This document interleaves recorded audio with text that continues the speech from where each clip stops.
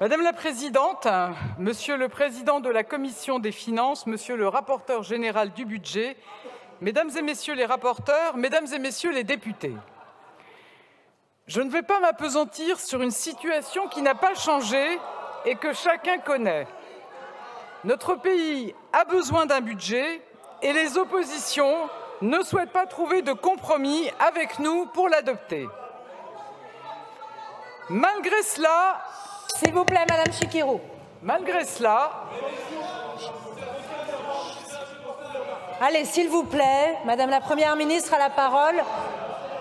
Ça, ça ne va pas être long, je vous rassure. C'est comme ça.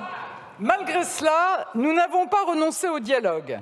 Ce texte a été enrichi par des amendements de la majorité comme des oppositions, à l'Assemblée nationale comme au Sénat. Je pense notamment dans cette première partie à la réforme des zones de revitalisation rurale adoptée au Sénat. Une réforme qui va permettre d'y inclure 4 000 communes de plus que prévu initialement. Mais alors que les délais constitutionnels mais alors que les délais constitutionnels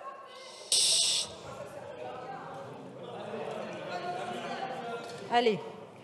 Mais alors que les délais constitutionnels nous pressent et qu'aucun groupe d'opposition n'est prêt à voter ce budget, nous devons prendre nos responsabilités. Nous ne pouvons pas priver nos services publics de leurs moyens. Nous ne pouvons pas priver notre sécurité, notre justice et nos armées de hausses inédites de leur budget. Nous ne pouvons pas priver la transition écologique de moyens sans précédent.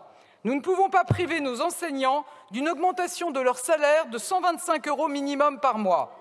Aussi, sur le fondement de l'article 49, alinéa 3 de la Constitution, j'engage la responsabilité de mon gouvernement sur la première partie du projet de loi de finances pour 2024. Je vous remercie. Merci beaucoup, Madame la Première ministre. L'Assemblée nationale prend acte de l'engagement de la responsabilité du gouvernement conformément aux dispositions de l'article 49, alinéa 3 de la Constitution. Le texte sur lequel la Première ministre engage la responsabilité du gouvernement sera inséré en annexe au compte-rendu de la présente séance. En application de l'article 155, alinéa 1er du règlement, le débat sur ce texte est immédiatement suspendu. Ce texte sera considéré comme adopté, sauf si une motion de censure déposée avant demain 15h35 est votée dans les conditions prévues à l'article 49 de la Constitution. La conférence des présidents se réunira aujourd'hui à 15h45 pour fixer la date et les modalités de discussion d'une éventuelle motion de censure. La séance est levée.